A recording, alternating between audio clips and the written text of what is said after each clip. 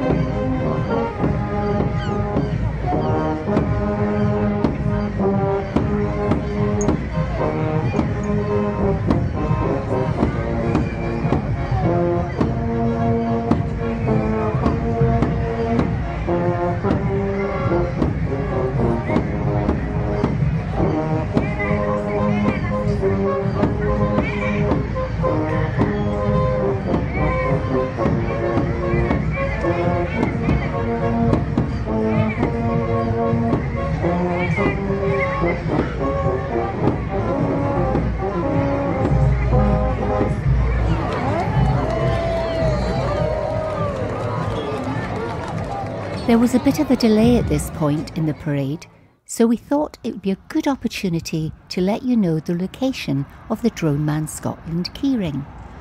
This week we have hidden it behind the sign just along from the store club. Now back to the parade.